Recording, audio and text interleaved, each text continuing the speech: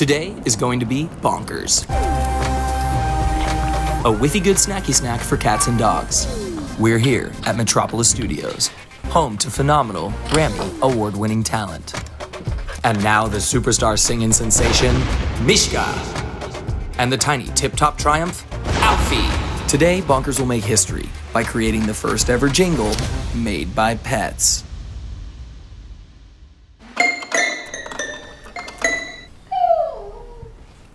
Wow. And if it would be possible to make it slightly more bonkers.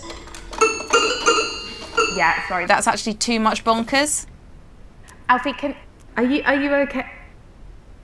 Do you need a cuddle?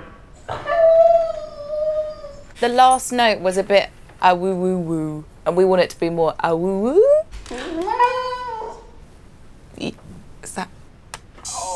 Genius. Oh yeah. Could you do anything a bit glitchy, robotic? Can we get that one again?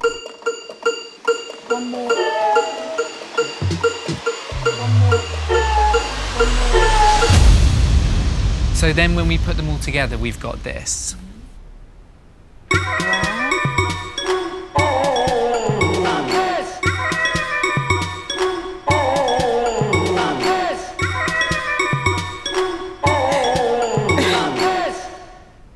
I mean, does a jingle ever won a Grammy?